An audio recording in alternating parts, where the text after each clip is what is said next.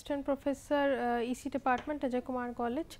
Today I am going to start with the next uh, lecture that is uh, for the subject that is Data Communication Networks KEC 063 and the topic of today's lecture is frame relay and ATM. Then uh, these are the contents of my lecture frame relay we will see and we will see ATM in detail its uh, frame structure and the data that is related to frame relay and ATM. Now, what is frame relay? So, frame relay with the increasing demand of the bandwidth with the increasing demand of number of users, uh, the type of new WAN that is the wide area network. This is basically known as wide area network.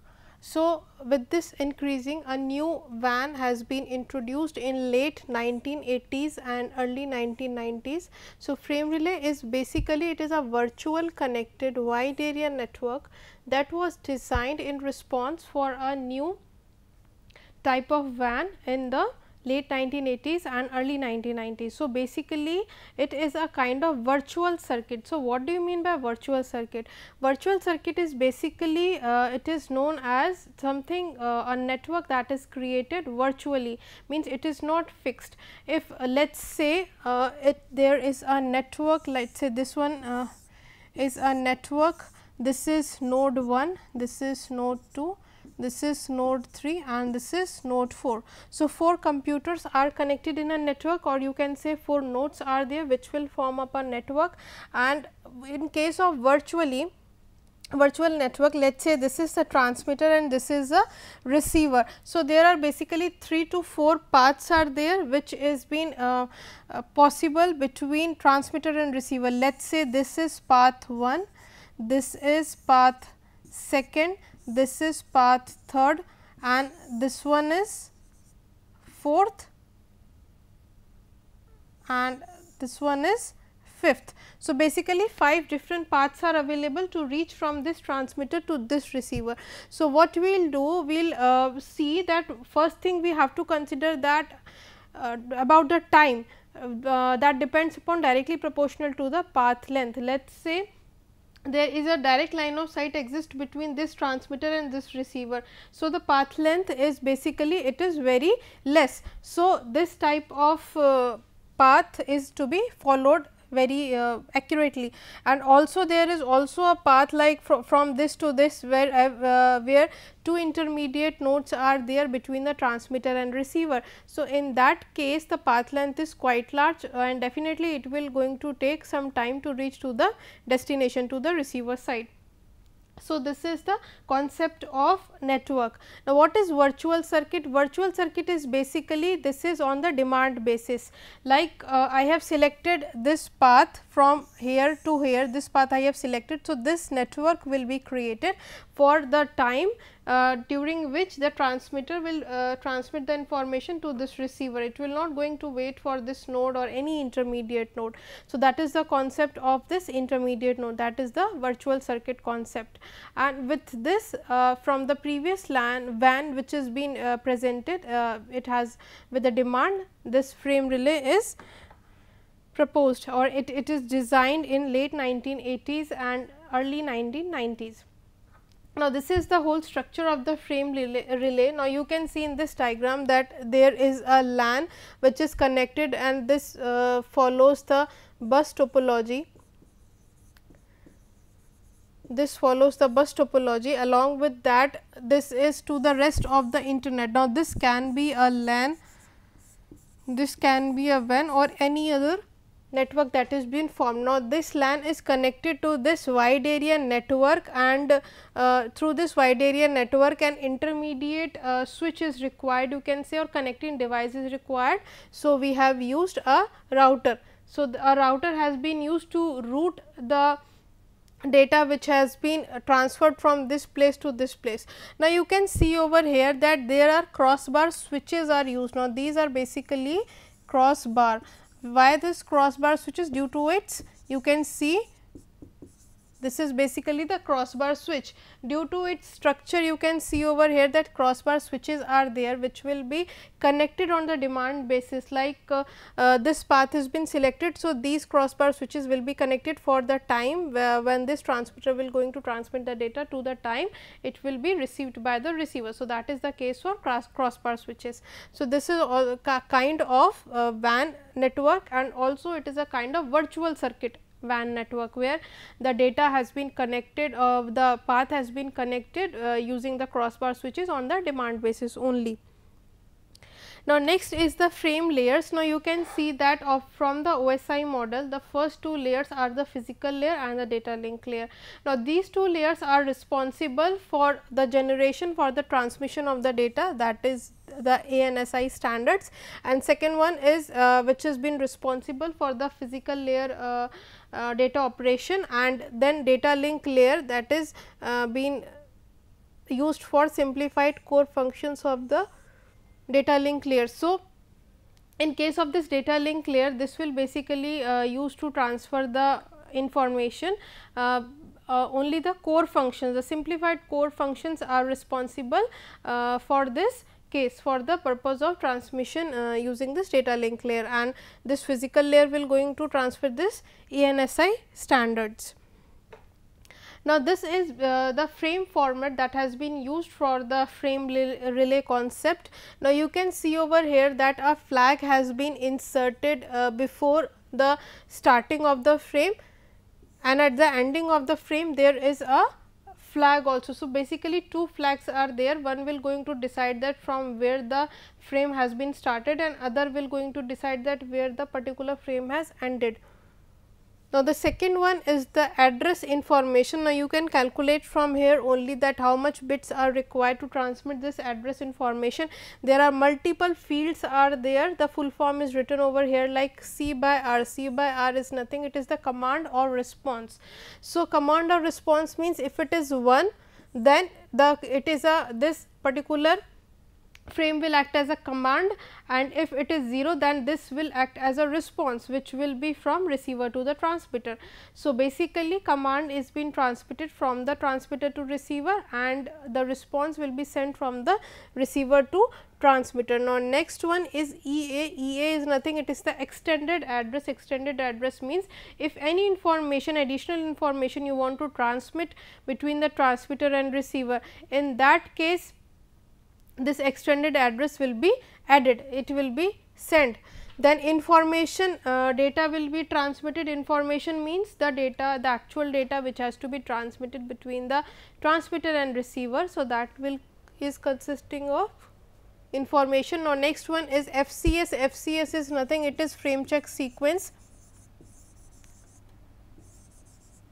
Now, in case of frame check sequence, what does it mean? In case of this FCS frame check sequence, the data which has to be transmitted, it is received at the receiver side. Now, that particular data will be checked that whether it is correct or not uh, using different types of code like linear block codes, uh, convolution codes, uh, what uh, Viterbi, uh, Viterbi algorithm or any uh, convolution code, cyclic codes are there, cyclic redundancy check so, different types of codes are available to check whether uh, the received data is affected with any uh, noise or not. Then there is a flag that will going to decide that yes this is the ending of this particular frame format. Now, next is DLCI. What is DLCI? DLCI is nothing it is the data link connection identifier that at uh, in the OSI model at the data link layer there is a connection identifier which has to be uh, inserted in this frame this will going to identify that yes the whether the connection that has been set up between the transmitter and receiver it is correct or not. So, that is the concept of DLCI. Now, next one is FECN, FECN is the forward explicit congestion notification and BECN it is the backward explicit congestion notification. Now, what is congestion? Congestion is nothing in uh, uh, if we are talking in terms of uh, uh network in network theory congestion means traffic means number of bits that has been transmitted that will going to travel over the channel. So, that is known as the uh, congestion. Congestion means traffic jam you can say uh, means number of bits that has been transmitted. So, there uh, if multiple users are using the same channel then uh, the data from the uh, multiple users will going to collide with each other means uh, they will going to access the channel at the same point of time. So, this leads through leads to congestion. So, BEC, uh, FECN and uh, this BECN will going to basically decide that whether it is uh, uh, there is congestion or not. Then there will be DE, DE is basically the discard eligibility uh, whether you want to discard this particular received uh, frame format if it is having an error and that error cannot be removed then this uh, particular frame can be removed also discarded then EA, EA is nothing it is the uh, it is the additional information that you can transmit uh, using this uh, particular frame format. So, this is the frame format that has been used for the frame relay concept.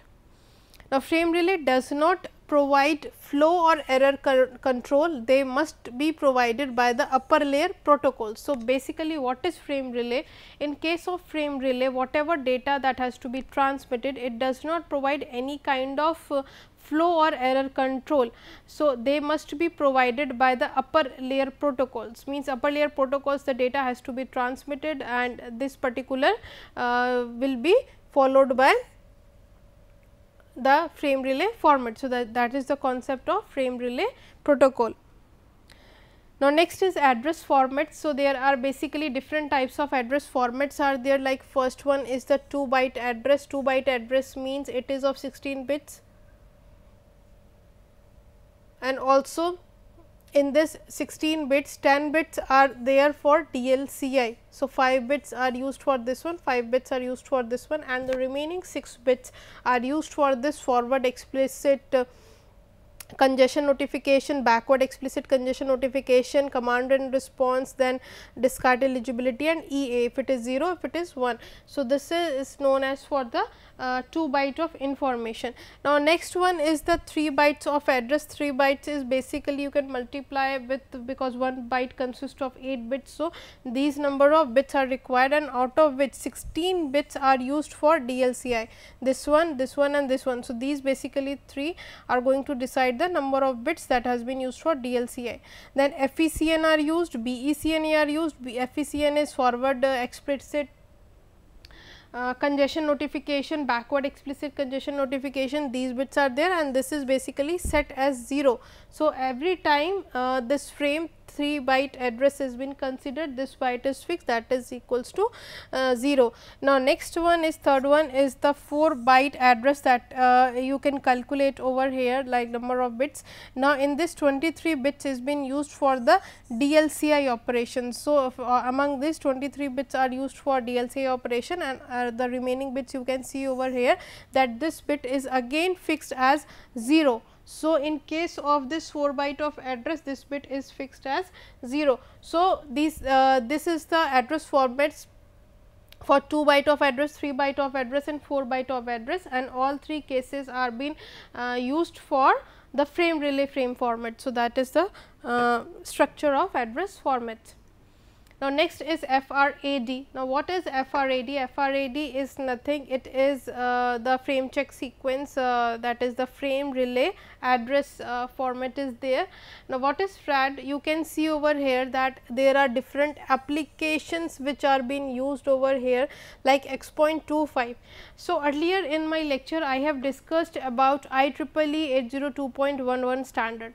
Now, in case of this IEEE 802.11 standard that, uh, that is basically going to describe the uh, the Bluetooth uh, the Bluetooth concept. Now, Bluetooth is nothing it is the wireless uh, connection that has been set up between the transmitter and receiver. Now, in case of this Bluetooth it uh, first thing that you have to consider while collecting the connecting the device through Bluetooth that it will going to serve at a specific radius only.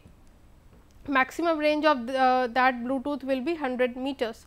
So, uh, in that there is application layer are there in the OSI model and in that application layer one of the application is the uh, X.25 application, next one is the ATM, third one is the ATM full form is asynchronous transfer mode. We will see in uh, later in this lecture what is ATM. ATM is nothing, it is the asynchronous transfer mode. Now, next one is the PPP that is the point to point protocol. In case of point to point protocol, if we will see what is PPP, whenever we want to transmit the data from one point to another point, then uh, it may be possible that there is no line of sight is there between uh, line of sight is there between the transmitter and receiver and in some cases there may be line of sight uh, exist between the transmitter and receiver.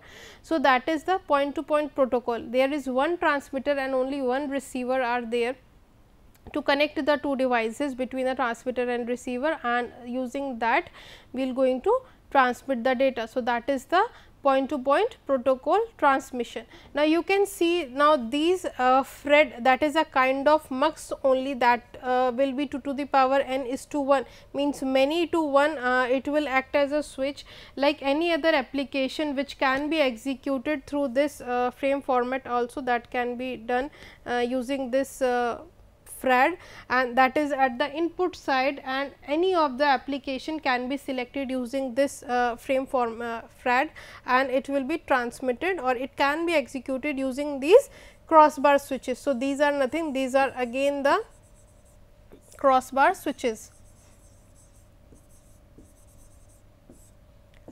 So, these are nothing these are the crossbar switches that has been connected depending on the uh, network that has to be set up between the transmitter and receiver. So, these are the virtual uh, connected virtually connected uh, networks that has been connected between the transmitter and receiver. At the receiver side also there is a FRAD and there are different uh, applications which are running over here that is X.25 then ATM is there and other triple P. Now, ATM is again that is the asynchronous transfer mode uh, means asynchronous basically means whenever we are transfer, uh, transferring the data between the transmitter and receiver that is asynchronous is na in nature which means there is no synchronization is required between the transmitter and receiver. It can be transmitted at any point of time and the uh, receiver which is using the particular kind of uh, uh, carrier signal for the demodulation purpose that is not always same as that at the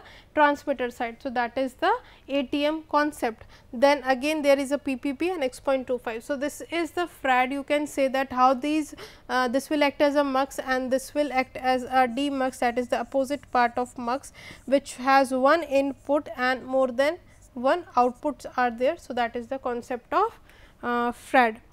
Now, next is ATM. ATM is asynchronous transfer mode is the cell relay protocol designed by the ATM forum and uh, adopted by the ITU-T that is the International Telecommunication Union ITU-T.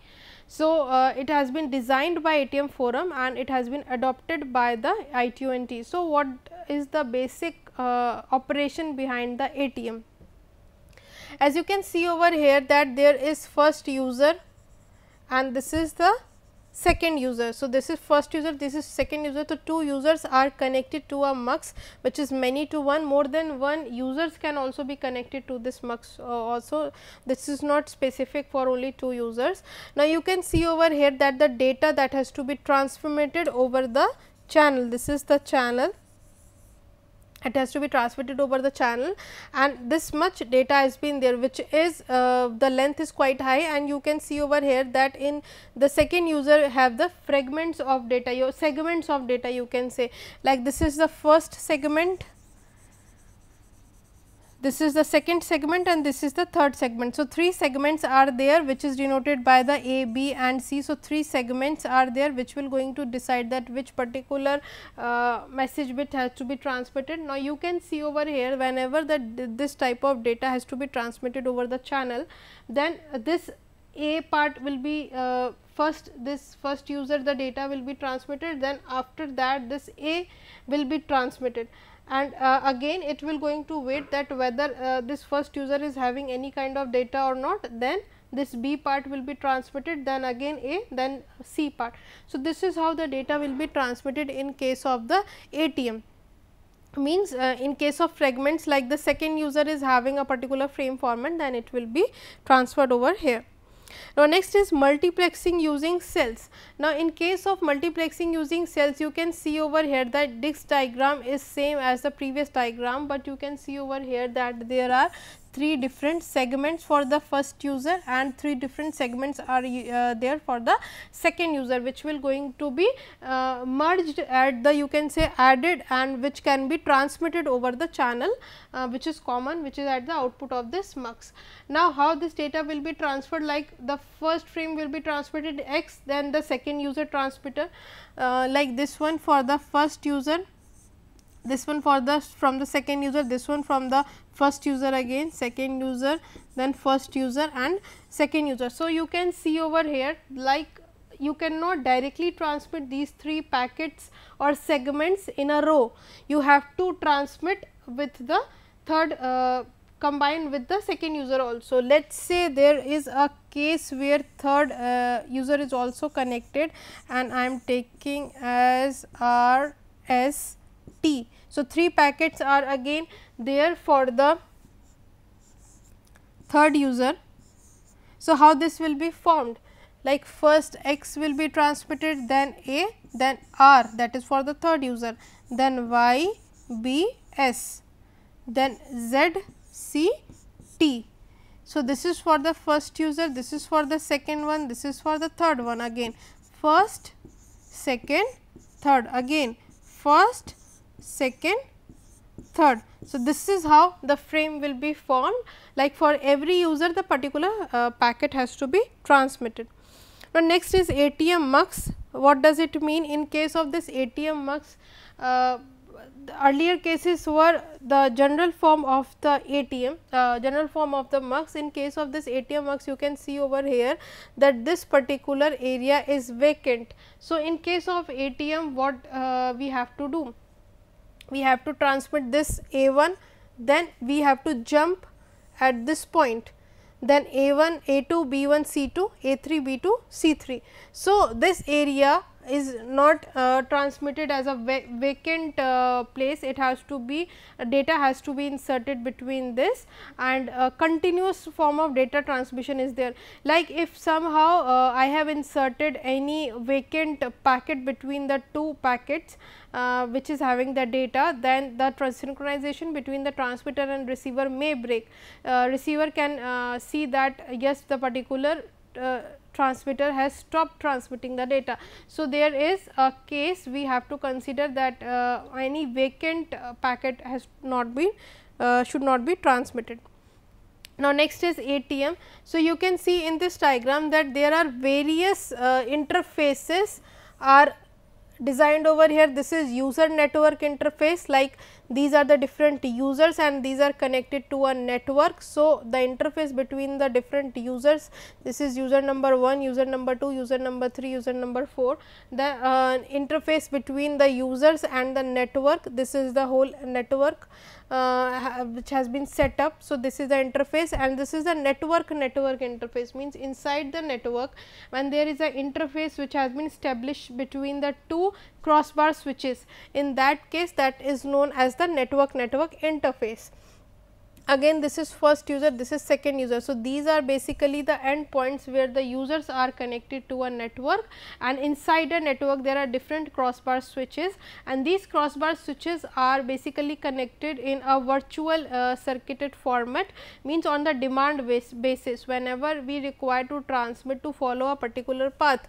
like this path I have to follow. So, these crossbar switches are connected and no need to connect this crossbar switch. So, this is on the demand basis. So, that is why its name is virtual circuit. Now, next is the TP, VP and VC. What does it mean? This is the transmission protocol. This all basically lies on the physical layer.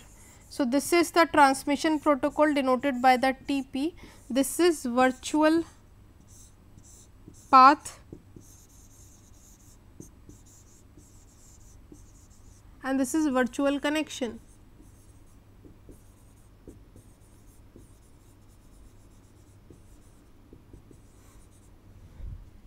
So, in case of this ATM there is basically three different ty uh, types of uh, connections are there that is the virtual connection that will basically going to signify the individual users. These are the virtual paths. Now, you can see that more than one virtual connection is connected to one uh, more than one VC is connected to one VP and more than one VP is connected to TP. So, TP is nothing it is the transmission protocol that is the uh, wire that has been set up between the transmission transmitter and receiver. So, it basically lies on the physical layer. So, this diagram is related to ATM only. Now, these are the ATM headers and uh, this is specifically for the user network interface and this is basically for the network network interface cell. Now, you can see over here like what is GFC? GFC is nothing it is the generic flow control, GFC VPI is nothing it is the virtual path identifier. Now, this is virtual circuit identifier. So, this is VPI and VCI this is the generic flow control which has been written over here. So, these are the basically header information that has been added this base uh, format has been used for the user network interface and this format has been used for the network network interface. So, this is the ATM headers uh, frame format. So, these are the references that you can consider for uh, the frame relay and the ATM. In frame relay, we have seen the different frame formats, its uh, identification. In case of ATM, we have seen the header uh, part, then VP, VC and uh, TP. So, these are the uh, this is a summary of the today's lecture. Thank you.